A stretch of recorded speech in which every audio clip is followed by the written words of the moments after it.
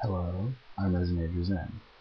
Like, today, I did a video earlier today, but now I was looking over some news, and I see that the stock market is in just a little bit of a crisis. I mean, this in this country of the, the greatest country in the world, we're in the biggest culture fuck of the situation ever.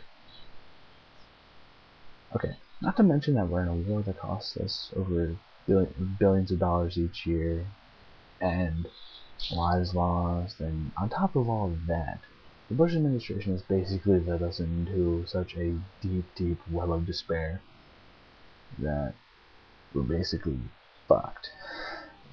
Any way you look at it, we're screwed. The stock market's going really sour, four consecutive days of going down. Gold has gone up, whoopty fucking do. And um, other thing climbed up with it, which is also a safe haven for people in times of crisis.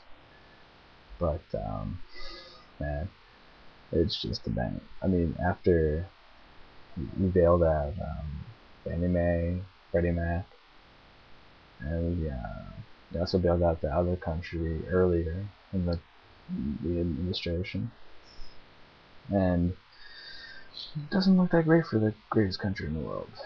We're sort of entering the clusterfuck stage of this.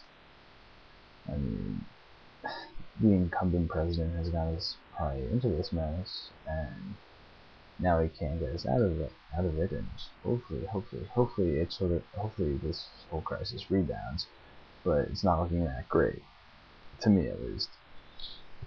And uh, I did a poll. And it was, uh, what's, um, what's your outlook for the uh, outlook for the U.S. economy over the next year? 67% are pessimistic.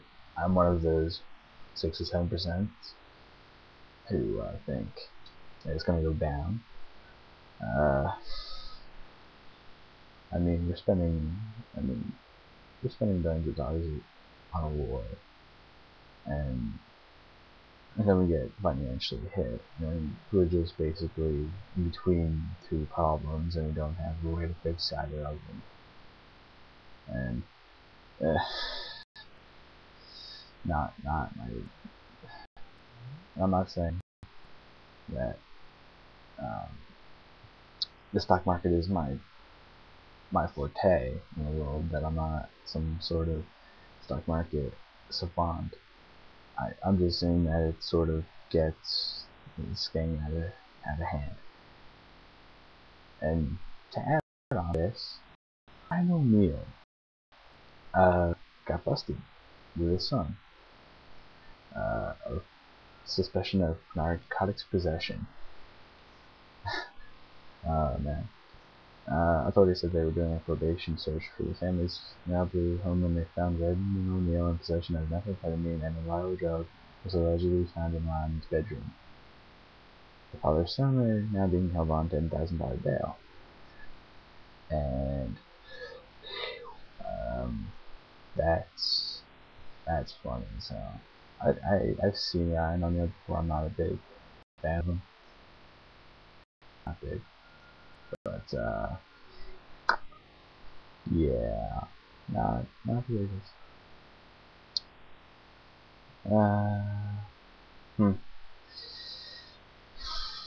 Just, this whole country's in a nosedive. And, I mean, and then, now, uh, Robin Hood bank manager stole seven million pounds from rich clients and gave it to needy customers. That's what we need in this country. We need someone who's going to take money from the rich, give it to the poor and needy people amongst us who need the money to help support their families. And not just have the rich people get a little dent during this crisis and poor get a huge crash in their pockets because of the financial crisis this country's in. The rich should help redistribute their wealth among people who really, really need it and that's probably not going to happen because rich people don't care about poor people, underprivileged people. they're snobby and obnoxious and they don't help anybody. That's not to say there are a few exceptions, but if I had a lot of money and we're going through this con this this recession and time of inflation and when things are going so bad, I would give my money. I would give it as much as I could so that I could survive. Just me personally survive. And I would disperse it amongst people who need it more, my wealth more than I do. I would even do that even if we weren't in a recession because I I wouldn't really need all that money. I would just buy food. I wouldn't need an extravagant house because I'm not that so egocentric. And I think that's why we're in such a crisis now is because people are out for themselves. But I digress. But uh, alright, that's that's all I had to say. Nerd Design, not for the Congress. Subscribe, rate, comment, and I see you guys later. Bye.